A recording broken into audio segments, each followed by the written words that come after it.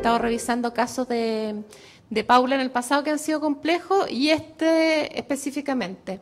Y yo creo que, que esa reflexión es súper buena porque te obliga a estar con las antenas mucho más, mucho más abiertas en el futuro. Pero yo creo que esa reflexión no es que vaya a cambiar la línea editorial, sino que apunta a que seamos cada vez más rigurosos nomás.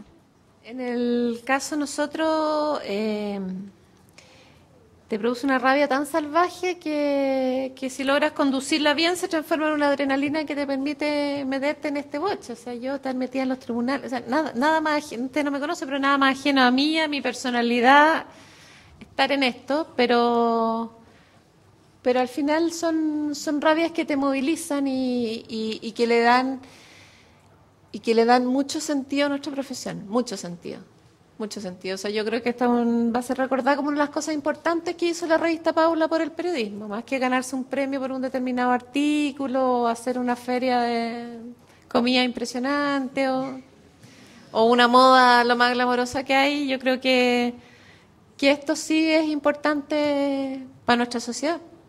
Súper importante. Entonces, esa rabia inicial y esa sensación de injusticia bien canalizada te lleva a buenas cosas. Ahora, la periodista que hizo el reportaje cayó a la cama. Literalmente, si se agarró una amigdalitis salvaje, de un bajón de defensa. ¿Ella es planta o es colaboradora? Es colaboradora. Ah.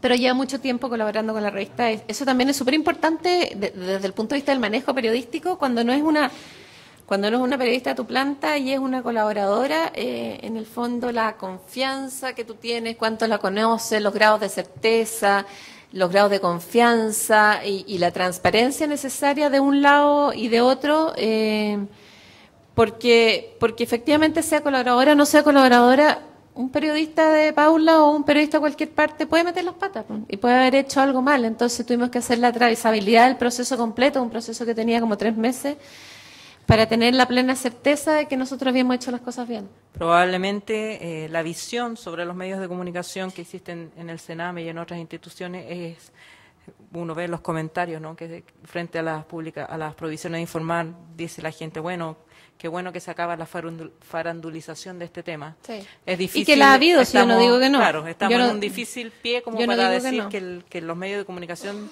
también cumplen una función súper importante y que develar este tipo de hechos también tiene una función terapéutica para los niños que, que, han sido maltratados porque alguien se preocupa de ellos. Exactamente. y si uno, eh, si uno extrema el argumento, en un, así como en un extremo más frío, el Sename tiene una función, que no es pedirme a mí que yo no revictimice a los niños. Ellos tienen una función que es proteger a los niños. Y mi función es informar.